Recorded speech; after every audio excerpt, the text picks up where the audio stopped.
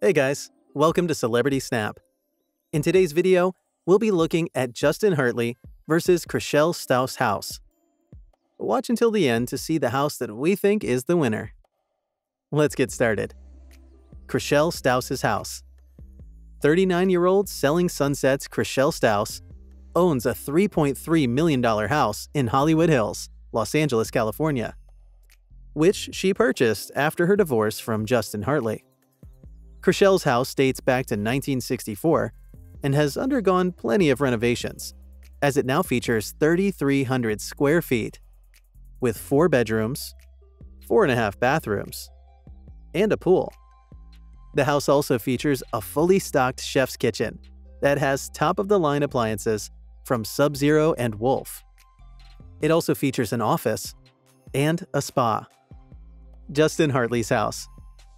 The This Is Us star Justin Hartley owns a $4.65 million house that sits on 6,762 square feet of land in the Tony Encino neighborhood of Los Angeles, San Fernando Valley. The house features six bedrooms, seven and a half bathrooms, a spacious entrance hall with finished wood plank floors, a formal living room with built-in display shelves, and a floor-to-ceiling fireplace.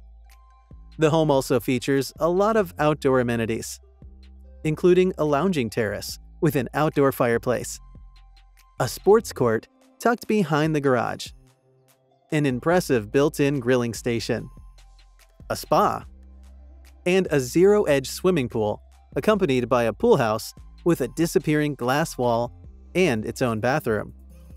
So which house is the winner?